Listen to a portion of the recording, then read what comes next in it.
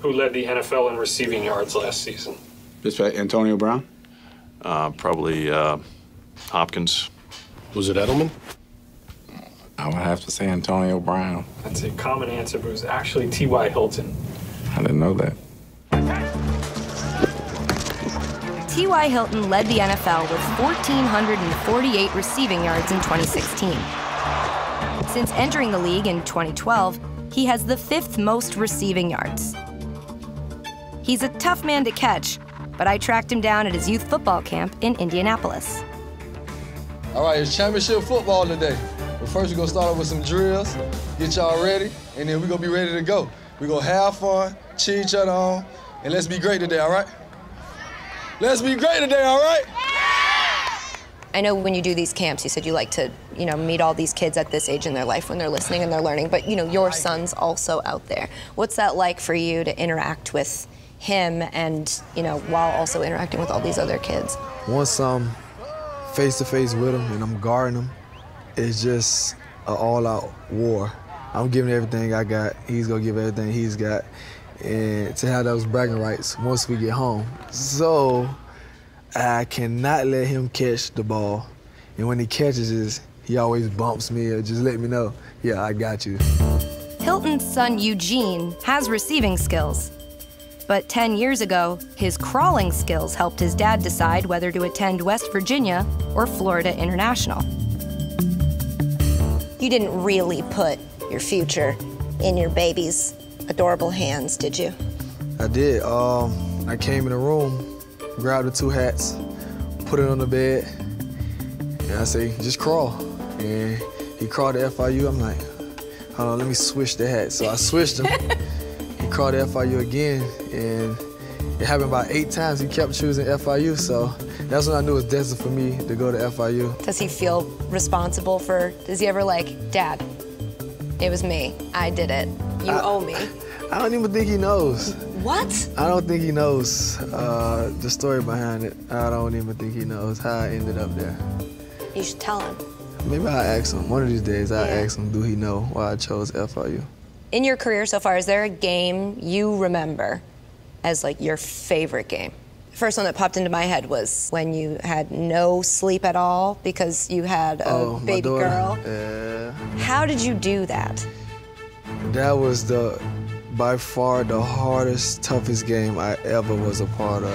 Baby's name, Regina Emma. Seven pounds, seven ounces. Are you serious? He woke me up at 5.30 this morning and tell me he's on the way to the hospital. Coach texted me, you know, uh, congratulations, uh, everything's good.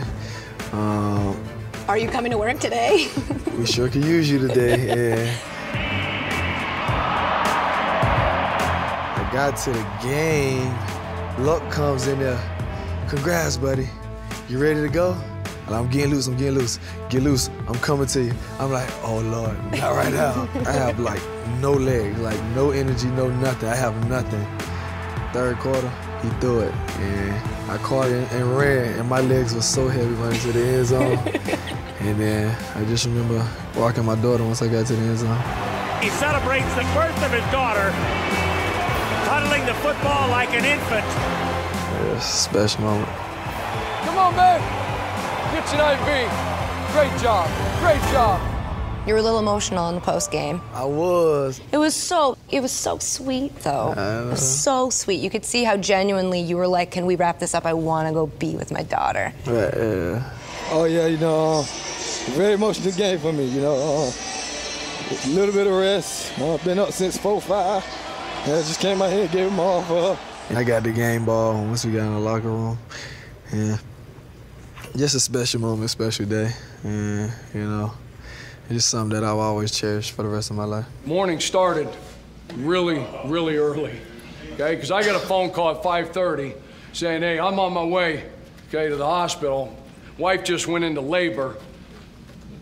Okay, goes and delivers a baby, said he did it on his own, okay? Made it back, put some food in his stomach, got four catches, 122 yards, and a touchdown. Hold on, hold on.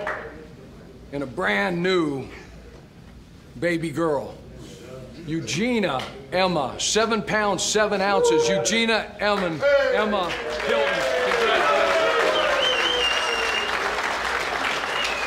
Turns out this father of three has football stories for all his kids.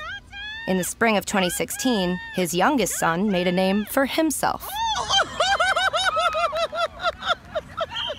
He was playing six and under. He's only four. Oh my God. And then that night, top 10 comes on. I'm like, please do not show him. Please do not show him. they say, oh, we have T.Y. Hilton's son. He pops up, jumps up, and just watches. Once he's shaking, he's about, ooh, did I do that? And I'm like, stop it, lay down. I guess disappearing from defenders is inherited. Seems fitting since Hilton goes by the nickname The Ghost, earned in 2014 thanks to a monster game against Houston. T.Y.'s got a touchdown! What a throw, what a catch! Coach Pagano, he said, you know, by the time you see him, he's already past you, the ghost. And then it just kind of stuck with me. One game ball, nine catches, 223 yards.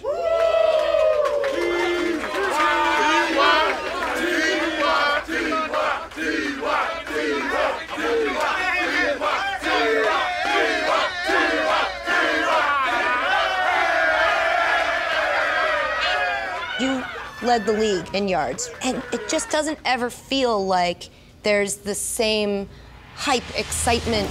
Do you feel that? Do you notice that? Do you feel like people don't give you a fair shot? For me, personally, I look at everything. I look at what everyone says. You do.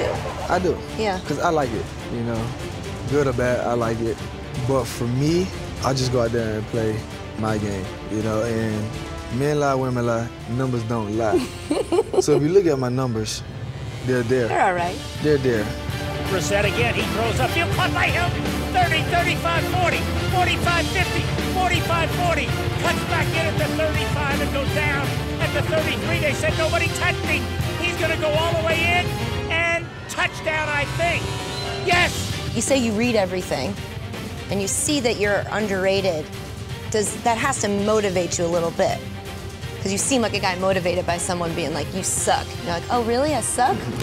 Watch this. For me, every game I go into, I always have a chip on my shoulder, no matter what. Because, you know, I was drafted in the third round, you know, came from FIU.